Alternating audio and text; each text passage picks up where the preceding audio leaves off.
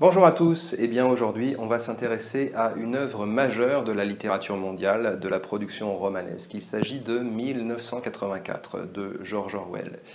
1984, c'est un roman qui est connu au-delà du cercle de ses lecteurs, puisque certains éléments hein, sont passés dans le vocabulaire courant ou dans nos références culturelles euh, de tous les jours, ou pratiquement de tous les jours. Euh, chacun d'entre nous a peut-être entendu parler euh, au passage de ce personnage, de Big Brother, et qui nous regarde, qui nous observe. Et on peut aussi avoir entendu parler de cette façon de parler appauvrie qui se nomme dans le roman la novlangue et qui se nomme aussi pour nous dans la réalité la novlangue, une langue appauvrie, une langue qui ne permet pas de penser correctement et qui est en fait euh, faite pour manipuler les gens qui s'en servent. Donc ce roman de George Orwell, 1984, eh bien, est intéressant euh, peut-être tout d'abord d'un point de vue historique. Il a été écrit en 1948. On remarque au passage hein, que pour euh, le titre, eh George Orwell a inversé les deux derniers chiffres de la date. Ça a été publié en 1949, l'année suivante. Et ça prend son origine, sa source, son inspiration, comme vous le savez euh, peut-être, dans les événements historiques que euh, Orwell avait sous les yeux, et en particulier dans les totalitarismes, hein, le nazisme en Allemagne, le fascisme en Italie, et par-dessus tout, de manière un peu plus évidente, le bolchevisme en Union soviétique. Donc il y a cet intérêt historique, mais ce n'est pas le seul, c'est loin d'être le seul même, puisque de nos jours, aujourd'hui, lorsqu'on lit 1984, on ne peut être que frappé et que profondément troublé des points de similitude, des points de ressemblance multiples et presque évidents que l'on peut euh, voir entre cette fiction et notre monde réel, notre monde de tous les jours, ce que l'on appelle nos sociétés démocratiques euh, occidentales. Euh, c'est pour ça que 1984 euh, n'est pas un roman historique, n'est pas un roman démodé. C'est parce que ce miroir grossissant, en fait, que nous tend George Orwell, eh bien, fait apparaître comme en pleine lumière les défauts, les travers, les tendances peut-être dangereuses vers lesquelles notre société peut être engagée. C'est pour ça hein, que cette œuvre est une œuvre majeure et que j'ai décidé de vous la présenter ici en 15 minutes. Alors on va d'abord en faire un petit résumé très rapide sans en dévoiler euh, tous les tenants et les aboutissants, et puis ensuite nous parlerons de certains thèmes euh, littéraires et des, thèmes euh, sociaux, sociétaux également, présents dans cette œuvre. Alors, donc 1984, c'est l'histoire de Winston Smith. Winston Smith est un citoyen ordinaire de l'Océania. Le monde est divisé en trois euh, puissances qui se font la guerre, l'Océania, l'Istasia et l'Eurasia. Et c'est une guerre permanente, c'est une guerre qui n'a jamais de fin, c'est une guerre qui est euh, faite et qui est menée non pas en but, dans, le but d'une victoire finale, malgré ce qui est dit de façon officielle, mais dans le simple but d'entretenir la guerre de façon perpétuelle et de maintenir du même coup tous les citoyens de chacune de ces trois puissances eh bien, dans un état permanent de terreur, dans un état permanent d'urgence, dans un état permanent de peur où ils ont à se défendre euh, de façon un petit peu fanatique contre un ennemi qu'on leur dépeint euh, sous les euh, dehors, sous les couleurs d'un ennemi diabolique. Alors Winston Smith est un citoyen de Londres, donc de l'Océania, un fonctionnaire qui travaille au ministère de la Vérité. Et son travail consiste à réécrire l'histoire. Euh, la vérité officielle défendue par ce qu'on appelle le parti dans ce monde euh, eh bien, évolue au fur et à mesure du temps. Elle est changeante, elle, euh, elle évolue. Et donc, à chaque fois que la vérité officielle change, eh bien, elle se met en contradiction d'une manière évidente avec tout ce qui a été écrit auparavant dans les articles de journaux et dans tous les écrits qui, qui ont été écrits auparavant. Alors le travail de Winston Smith est de réécrire toute cette littérature qui a précédé afin de la mettre en conformité avec les nouvelles vérités officielles, les nouveaux dogmes défendus par le parti. Et à la vérité, Winston fait son travail de manière consciencieuse. De toute façon, il n'a pas tellement le choix. Puisqu'il euh, est observé, ainsi que l'ensemble de ses contemporains, par ces systèmes de surveillance qui sont omniprésents et que sont les télécrans. Vous en avez ici un derrière moi, et qui ne laissent à personne la liberté, la latitude d'avoir un espace mental privé, puisque euh, on est observé nos attitudes, euh, nos expressions faciales, nos mimiques, notre intimité est observé en permanence, que ce soit au travail, dans la rue, chez nous, y compris dans notre sommeil. Alors Winston, hein, même s'il n'est pas tout à fait convaincu de la vérité hein, de tout ce qu'il fait ou du caractère défendable de tout ce qu'il fait, est bien obligé de suivre le mouvement. Il ne sait pas trop d'ailleurs comment au départ il pourrait s'opposer à cette, espèce de rouleau compresseur social dont il est une partie en même temps qu'il en est une victime jusqu'à ce qu'il s'aperçoive que dans son appartement, il y a un tout petit coin euh, pour lequel, auquel les télécrans n'ont pas accès, caché de l'observation. Et euh, Winston Smith fait cet achat un petit peu par hasard un jour en se promenant, euh, en flânant dans une rue, d'un carnet, tout simplement d'un cahier dans lequel il va se mettre à écrire, à écrire ses pensées. Et à partir de là, le personnage va commencer à dériver, va commencer à se décaler de ce monde social et de, ce, de cette oppression hein, sociale, de, ce totalitarisme euh, dans lequel euh, il baigne et va commencer à développer une pensée autonome et va commencer à développer une pensée qui va être de plus en plus cohérente. Alors ensuite, il va euh, rencontrer un personnage, un personnage féminin, Julia, avec qui il va avoir une liaison et avec qui il va pouvoir aussi partager euh, ses pensées qui sont euh, des pensées déviantes hein, au regard des critères sociaux de cette époque. Et ils vont connaître, ils vont vivre une aventure, une aventure sensuelle, une aventure amoureuse, tous les deux en même temps hein, qu'une aventure de l'esprit. Et il y a un autre personnage qui s'appelle O'Brien et qui euh, va être, euh, comment dire, l'appât par lequel la société va attraper euh, Winston. Je vous en dis pas plus, mais O'Brien, au départ, Winston pense que c'est un allié, que c'est un personnage qui fait partie d'un mouvement de résistance, et à partir de là, il va rentrer en contact avec lui. Mais il se trouve que en fait, c'est un agent double qui va le perdre et qui va euh, provoquer ensuite euh, eh bien, son, incarcération, il y aura des scènes de torture, et puis finalement la rééducation. O'Brien va être celui qui, au nom de la société, va rééduquer euh, Winston Smith dans la pure orthodoxie de la pensée défendue par le parti. Voilà pour les quelques éléments de l'intrigue. Hein. C'est un roman noir, c'est un roman sombre, dont je vous le disais au départ, beaucoup euh, d'éléments de façon troublante ressemblent à notre réalité quotidienne et c'est ce qu'on va voir tout de suite. Alors, un élément tout à fait troublant euh, de ressemblance entre euh, notre monde réel et 1984, c'est ce que l'on appelle de nos jours le politiquement correct, cette tendance à ne pas vouloir appeler un chat un chat,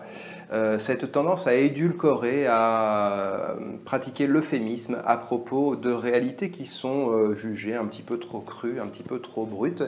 et qui, euh, du même coup, eh bien, tendent à changer la nature de cette réalité elle-même. Dans le roman, on parle de novlangue. Alors, il y a une nouvelle traduction euh, récente en français qui vient de, paraître et qui traduit hein, ce terme inventé par euh, Orwell de newspeak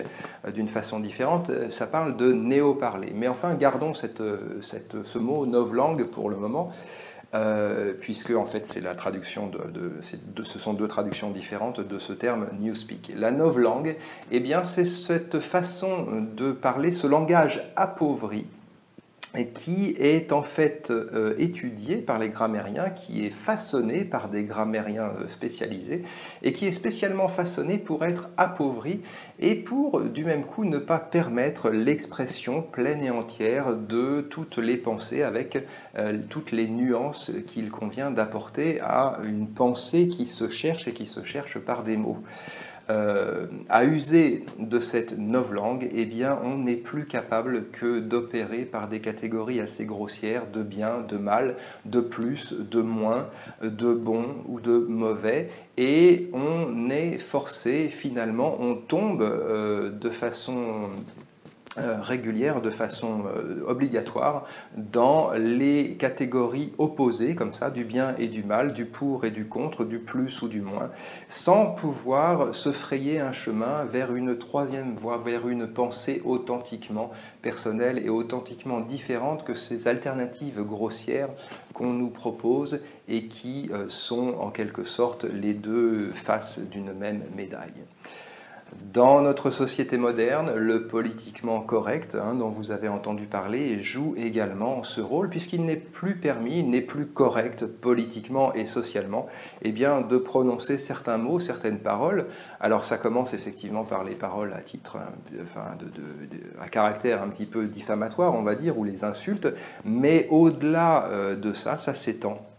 à tout un certain nombre de dénominations euh, qui sont proscrites, qui sont prohibées, et euh, certaines personnes hein, font remarquer que bien tout ça appauvrit le langage et en fait appauvrit du même coup euh, la réalité et en fait disparaître les contours et les couleurs. Donc voilà le premier hein, des points de comparaison qu'on peut dresser entre notre monde quotidien et cette fiction 1984. Un deuxième point de comparaison, eh c'est la guerre perpétuelle. Alors certes, nous ne vivons pas dans un univers où la guerre est perpétuelle, mais nous vivons dans des sociétés où les problèmes de sécurité, eux, sont récurrents et sont perpétuels, et en particulier euh, ce que l'on appelle le terrorisme, d'où qu'il vienne, de quelque nature qu'il soit. Le terrorisme est une réalité avec laquelle nous sommes, hein, il est forcé de le constater, nous sommes obligés de vivre euh, au quotidien presque. Et euh, effectivement, il y a tout un discours qui nous euh, fait penser que l'on ne se débarrassera jamais du terrorisme, que ce qu'on appelle la guerre au terrorisme est une guerre infinie, est une guerre sur le long terme, et est une guerre qui est destinée à continuer et ne va pas du tout pouvoir s'arrêter et pouvoir être gagnée dans des délais brefs. De la même manière, dans le roman, cette guerre que se livrent les trois puissances principales qui se partagent le monde est une guerre qui a son but en elle-même. Il faut que la guerre se poursuive. Euh, ce qui est visé, ce n'est pas la victoire, c'est la continuation de la guerre. Il y a la vérité officielle hein, qui euh, propose et qui met en avant le fait que de grandes victoires ont été obtenues à chaque fois et que de grandes avancées ont été obtenues mais on découvre hein, que le but caché euh, derrière toute cette propagande, derrière tout, ce spectacle, tout cet amusement euh, proposé à la population, eh bien, c'est le fait que la guerre doit continuer.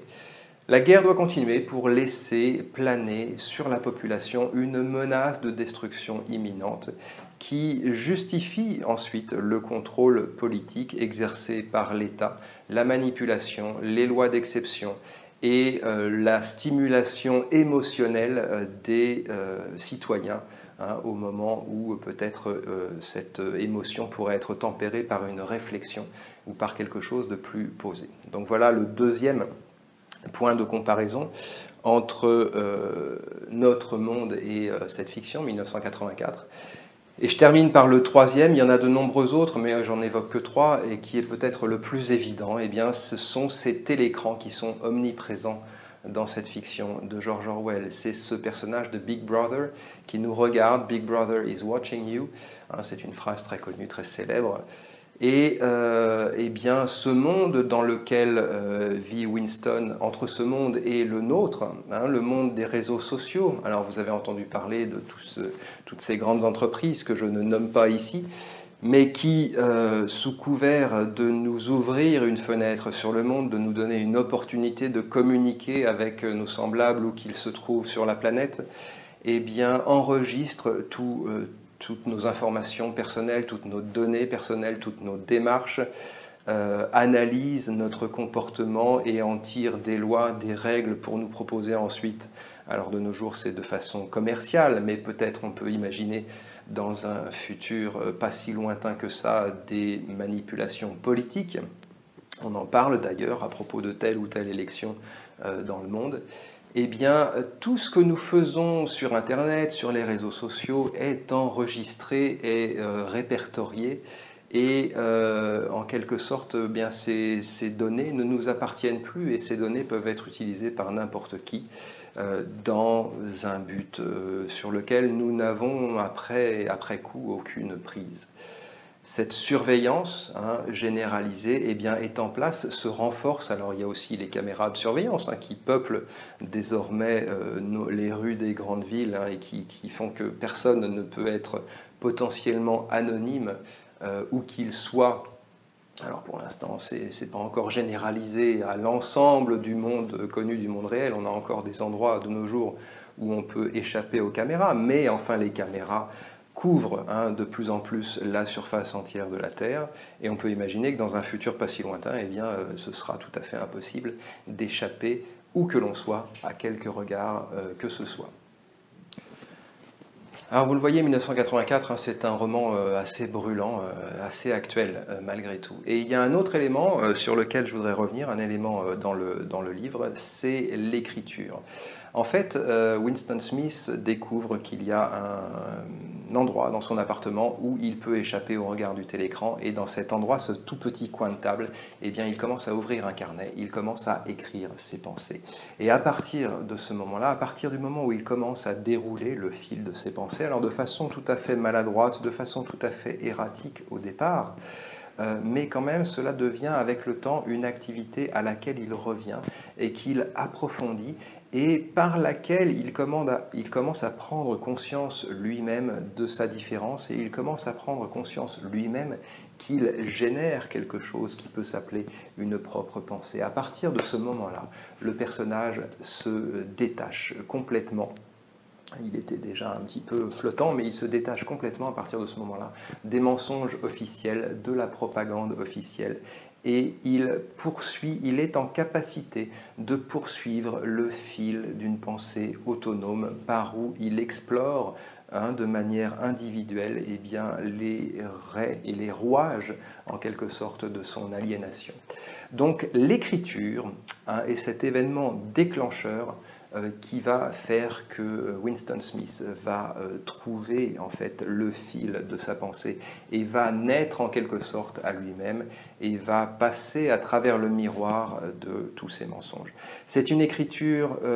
personnelle, erratique, un petit peu, comment dire, qui se cherche et qui ne dit pas grand-chose non plus et qui ressemble un petit peu à euh, l'écriture pratiquée par certains de nos grands écrivains. Hein. On peut citer euh, cette euh, esthétique, en quelque sorte tout à fait similaire à celle qui est celle de Montaigne,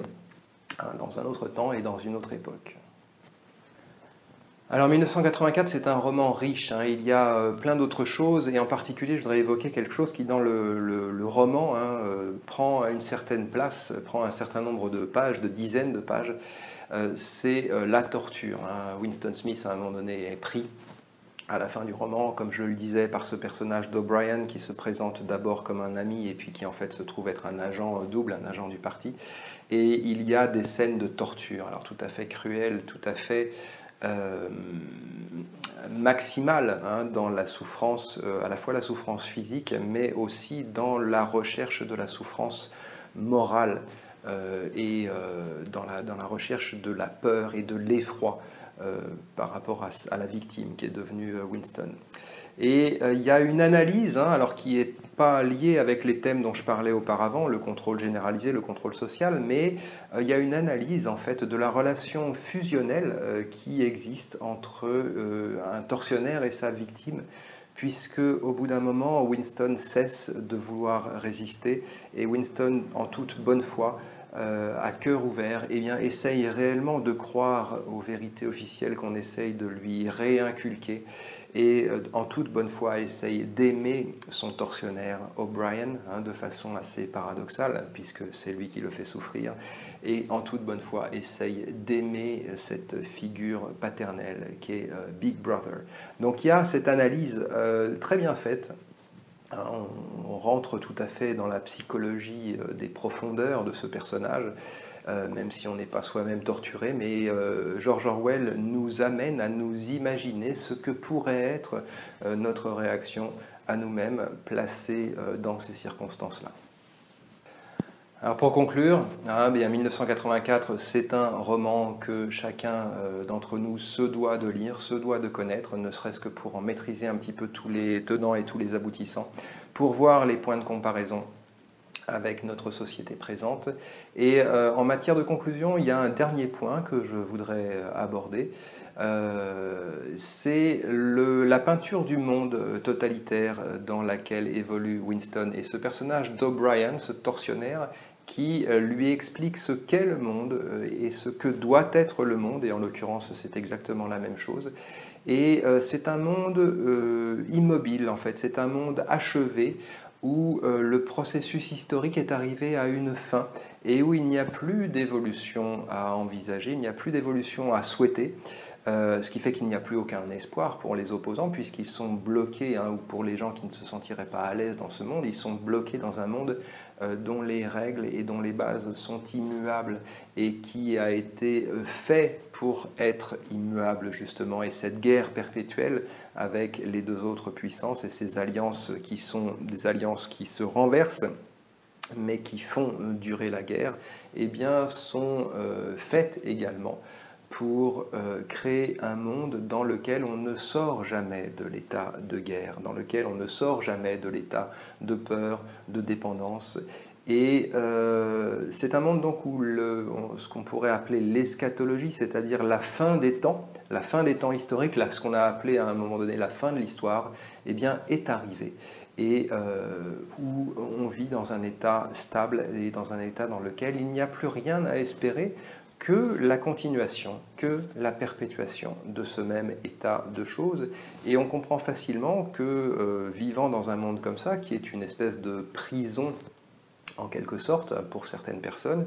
eh bien l'alternative hein, soit de d'aimer ce monde tout simplement ou de le détester. Mais alors si on le déteste, il faut prendre ses responsabilités, être prêt à en assumer les conséquences. Mais euh, ce qui se trouve en fait euh, le point commun de la majorité des citoyens dans le roman, c'est qu'ils se voient contraints, ils se voient par un espèce de dynamisme intérieur amenés à aimer ce monde qui, euh, pour nous, en fait, est tout à fait euh, répugnant et tout à fait euh, indigne hein, de notre amour. mais c'est peut-être aussi l'alternative à laquelle nous sommes confrontés nous-mêmes dans notre réalité. En tout cas, voilà, je vous laisse avec ces quelques petites réflexions et euh, je vous souhaite une bonne lecture de ce roman tout à fait passionnant.